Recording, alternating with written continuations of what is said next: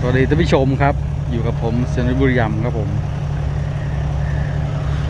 ตอนรับเข้าสู่ ทีมงานรถขุดรถดำนะครับฝากทักทายกันครับผมตอนนี้ทีมงานโรงงาน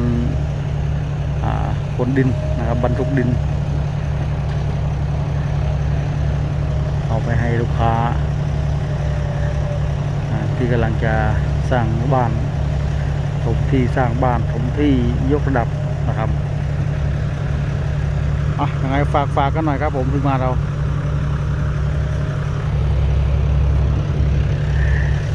มีงานคาใดนึกถึงทีมงานเราครับ